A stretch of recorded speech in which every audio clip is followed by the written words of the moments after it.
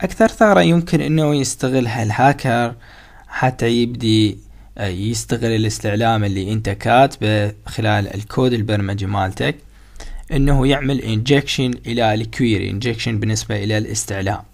طيب كيف هذا الأمر في الأساس يكون؟ وما هي مدى آه، يعني آه، حساسية هذا الأمر؟ الأمر جدا خطير طبعا إنه أنت أوكي كاتب ال query بشكل صحيح آه، في حال عملية تطابق مثلا كلمة السر والمرور مع كلمة السر والمرور اللي راح يدخلها لك المستخدم من خلال ال text box آه، للمستخدم. فأوكي أنت كاتب ال query بشكل صحيح لكن يمكن إنه يستغل هذا الشيء ويبدي يغير هو في ال query نتيجة لإنه أنت تاخذ field أو تاخذ ال input بشكل مباشر وتبدي تقارنها أو تدخلها على ال query. آه خلينا نشوف كيف راح يبدي يستغل الهكر هذا الشيء في الأساس. العملية مو صعبة نهائيا. لاحظ معي إنه اني مثلا عندي آه عملية select أنا حتى أعمل check أعمل select طبعا. مثلا لو تلاحظ عندي في الأسفل إنه أعمل select user name وال name وين يكون عندك ال password يعني بدي أعمل select عليهن ذني كلهن. عندما يكون عندي الشرط إيش الشرط؟ لاحظ الشرط. ال user ID عندما يكون ال user ID هو يساوي عندك مية وخمسة okay؟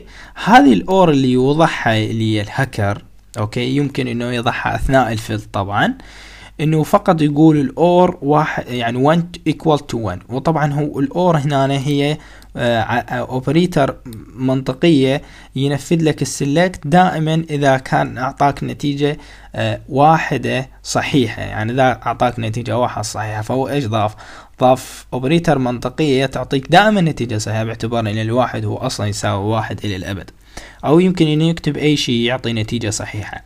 طيب هو كيف راح يبدي يدخل عندك هذا ال OR؟ okay هذه ال OR كيف راح يبدي يدخلها في الأساس؟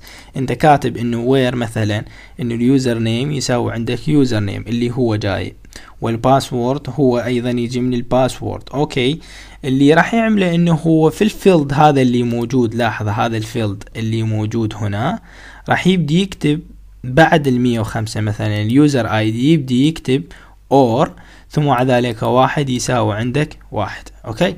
هذا يبدي يكتبه ضمن ال field ثم مع ذلك يعمل login وهذا راح يبدي يتنفذ عندك ضمن ال query okay؟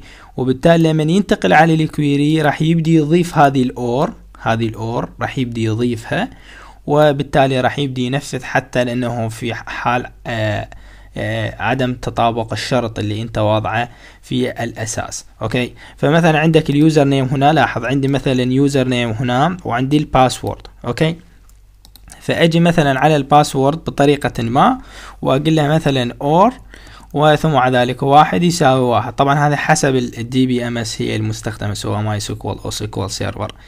فبالتالي هذا هو راح يبدي ياخذه بنظر الاعتبار ويبدي يدخله عندك ضمن ال query اللي موجودة query select وراح يبدي ينفذها وحتى إنه في حال عدم تطابق ال user name وال password للمستخدم. طبعا آه، آه، حتى نمنع هذا الشيء يعني في الأساس إنه حاليا تستخدم بالنسبة تقنيات آه، تقنية ال LINQ أو مثلا تستخدم تقنية ال entity frame للتعامل مع قواعد البيانات.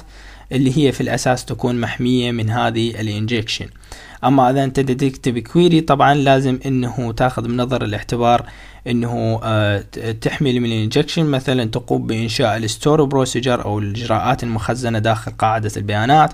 وتقوم باستدعاء الإجراء المخزنة وطبعا بطبيعة الحال هذا راح يمنع عملية ال injection أو يمكن أنه تقوم بوضع استثناءات معينة من عملية إدخال بعض الأمور أو بعض ال ال ال يعني الكاركتر هنا على الإنبوت اللي انت موجهه إلى المستخدم.